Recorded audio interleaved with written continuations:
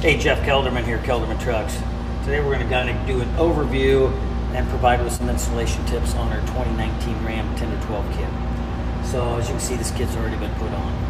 Uh, what I'm going to do is I'm going to go through kind of a step-by-step -step on how we do it here at the factory and uh, hopefully save you a little bit of grief on putting this thing in, make it a little quicker.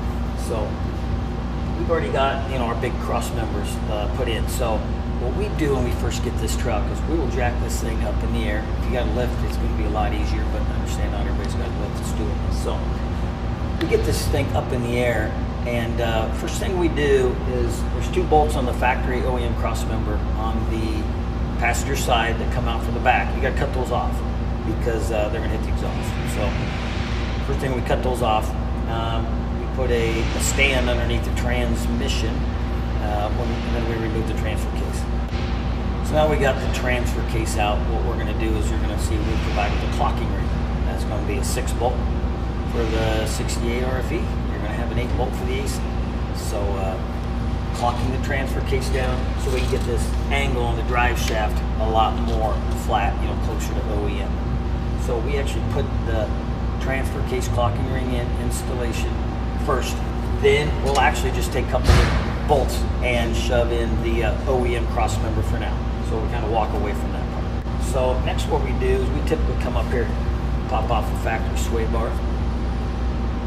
We, we drop off our steering linkage, remove the factory uh, pitman arm.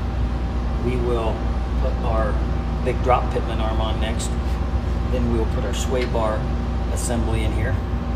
Uh, it's got pillow block bearing. It's got some brackets on there. It's got a bracket brace comes on top of the steering box. What that's going to do is going to keep all your steering, you know, keep that box from uh, uh, flexing with the with the frame when we run this really long pitman arm. At the same time, we're going to be popping off our factory panhard bar drop and putting our panhard bar uh, drop in there. And you'll see these have some uh, smooth bolts, uh, Allen heads in there, so that it provides a little space here on the uh, when the bag goes up and down. So typically after we get our bracket in here. Now we haven't put the sway bar back on, but we got our uh, steering box, brace, the brackets, panhard bar, or panhard bar drop, all that in there. Then what we will do then is lower this down, pull out the factory springs, pull out the factory shocks. So a couple things when we're putting our upper bag mount in place. Okay, we've got um, the remote, the shock remote resi bracket that's got to go in between here and the spring bucket. We're going two bolts here, 3 8 bolt, and then we're drilling tapping the 3 8 bolts into the side of the frame. So hold this up in place, mark your four holes, drill and tap them, boom, you put this bracket in. Just remember to put your remote resi uh, bracket in at the same time when you do this upper uh, bag mount. The lower bag mount, it attaches with three bolts.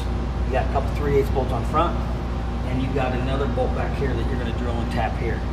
That's a half inch bolt back there. In between here, you'll see there's a little bit of gap put a couple washers in there.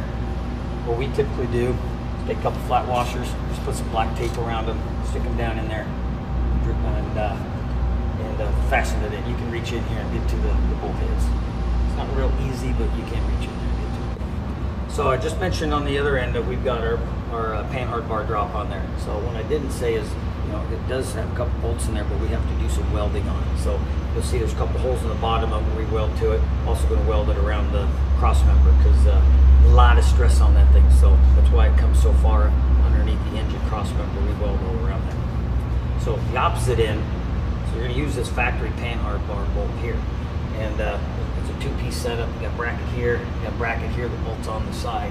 And then we have a spacer that goes in here with that factory panhard bar one. So all this gets fastened together here to provide your lower um, mount for the adjustable track bar that we provide. It also comes up here and um, connects to where the factory end link connected. We're also using that to uh, attach the bottom of the passenger side end link right here. See here we've got the steering stabilizer setup installed also. Um, we typically do this the last thing, but again, we got up near it, it's really not going to matter what order you do. So you got these outer brackets, you just got the factory two bolts that bolt through. Okay, got the half inch bolt here. There's no spacers or anything here. There's just a couple, just the bolts come straight down. Come around here, you got the center section. You got two bolts where it fastens here, and on the bottom, it's fastening with a couple OEM bolts there. You come over here, if you've got a, a an aftermarket, like a PML or uh, a, a Magtech diff cover, you won't use the spacer behind here. So there's a little spacer right behind there. It's about 3 eighths of an inch thick. So um, obviously OEM diff cover, so we have a spacer in there. You come around, get this little tie bracket that fastens right on top of the two shocks, and uh, there's no spacers in here.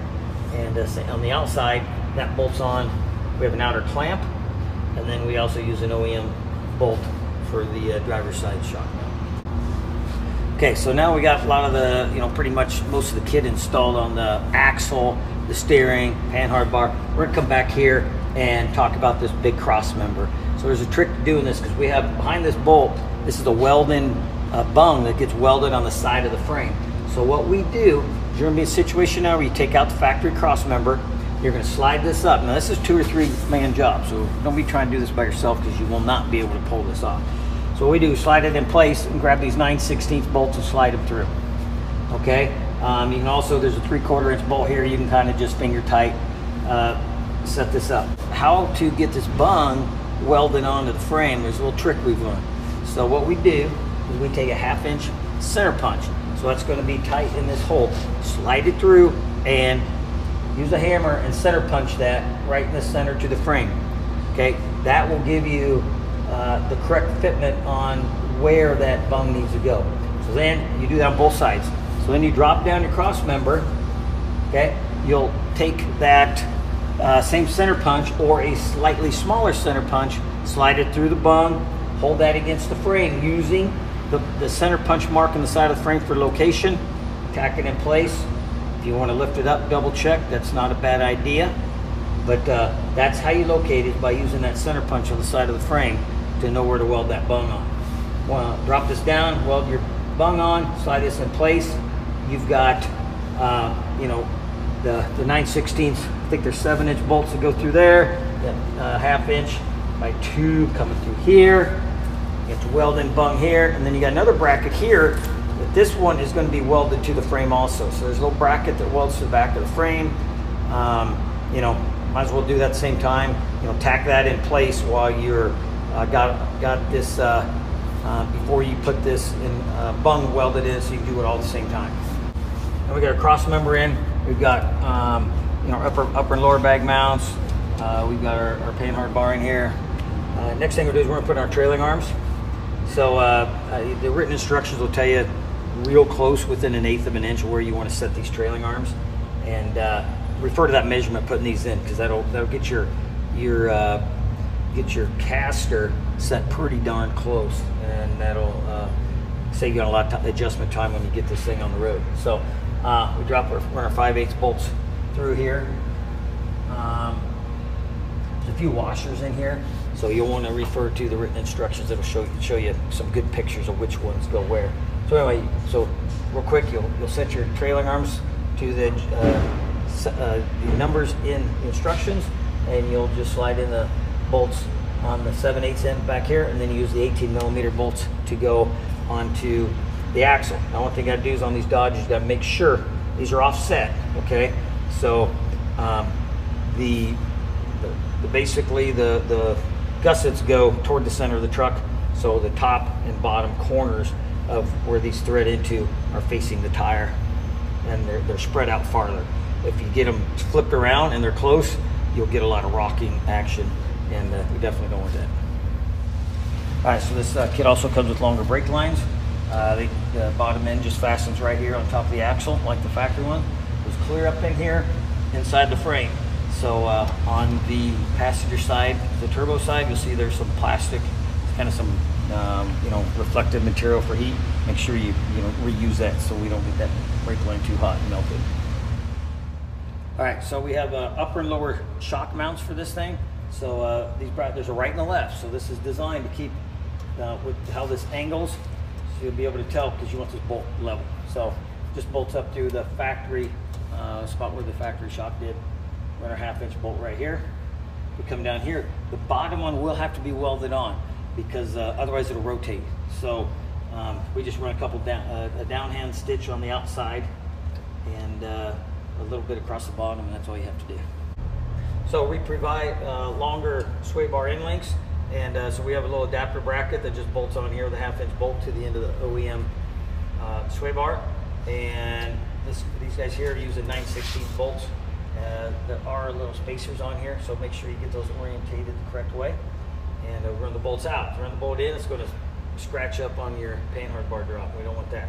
So uh, these, uh, we just run only like a thread on them, so you can check to make sure both sides are the same length when you're installing it.